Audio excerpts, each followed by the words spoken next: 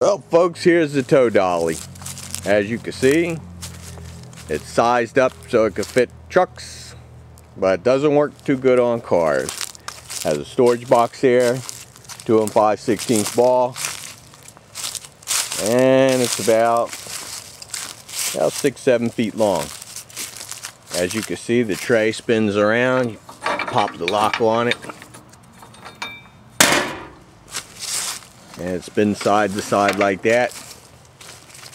So when you turn a sharp corner the fenders and tires don't dig into the side of the vehicle. That's how she spins around.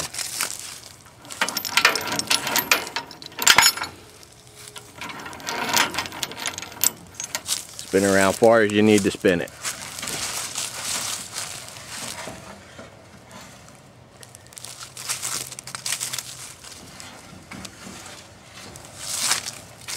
Put the lock back in for when you're running empty.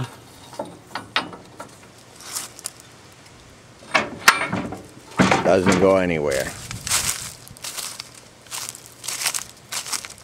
Takes eight lug rims. Right now it's got a set, well, one Goodyear on there, 10 ply, and another Highway LT. This is the back of it. It's got a tow ball on there so you can hook another trailer on if you got to move a couple trailers. And it doesn't really need a tag because it's a tow dolly.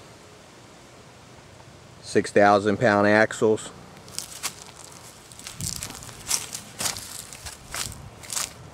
And if you want us to modify it, we could do that too. Whatever you want welded on it, just let us know.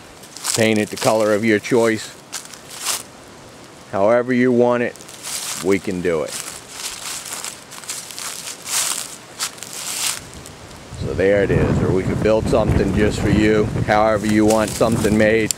Just let us know, we could come up with the design and we'll stitch it right together. Thank you.